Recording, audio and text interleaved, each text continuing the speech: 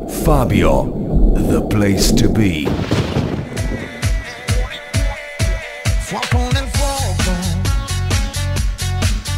Les passions